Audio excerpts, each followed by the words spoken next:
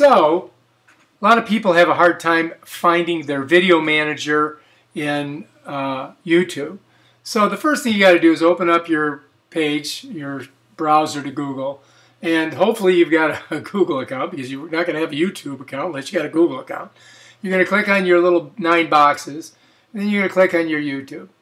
So here comes YouTube, and uh, so now you're going, well, how do I where's my channel at? How do I find my video manager? What, you know, you click here, well, you click here, nothing's happening, right? So you go back over here and you're going to go to your upload button. You're going to click on the upload button. All right. Now here's your here's where you can upload stuff, drag it in there and stuff.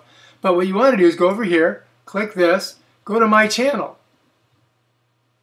Now when you get to my channel,